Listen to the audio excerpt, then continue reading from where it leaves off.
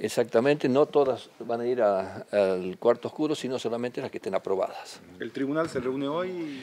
Eh, segura, eh, no, en los próximos días. En los próximos días se va a reunir a tomar eh, una resolución.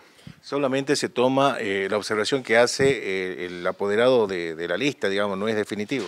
No solo eso, primero vemos las observaciones, si son procedentes, y en segundo lugar, la Junta aplica la normativa y la jurisprudencia también. Paso que marca el cronograma electoral, los partidos políticos presentan los modelos de boletas y en el día de hoy se exponen todos los modelos de boletas de todas las agrupaciones políticas para hacer observaciones y un control de que esas boletas se ajusten a lo que establece el Código Electoral Nacional.